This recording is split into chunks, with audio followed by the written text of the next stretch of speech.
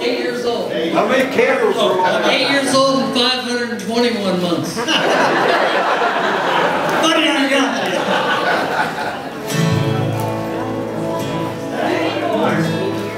Here's a song that uh, was written by a friend of ours, Sid Campbell, over in, over in Columbus, Ohio.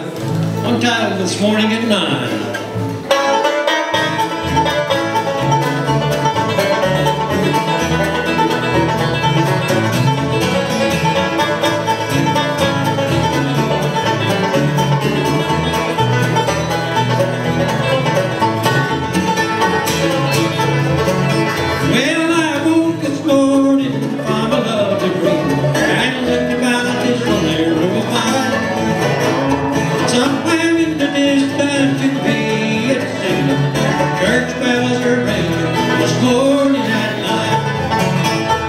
Bigger